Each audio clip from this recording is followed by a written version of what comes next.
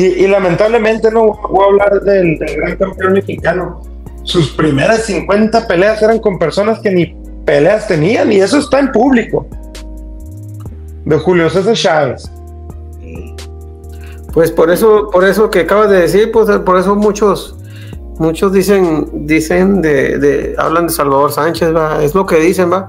Yo, pues yo soy fan de Chávez, ¿no? Soy, yo también, yo, yo también. O sea. porque, porque aunque ese récord que dices tú, y lo digo por las peleas que ha tenido, aunque ese récord que dices tú, pues peleó con gente que ni, ni, ni era buen récord, lo que sea, pero las peleotas que nos dio, eran unas peleotas que, que la, no vamos muy lejos con la de Melody Taylor, con la que peleó, era un peleador, una peleada, o sea, una gran pelea, incluso hasta la llevaba perdida y noqueó por por, por último segundo.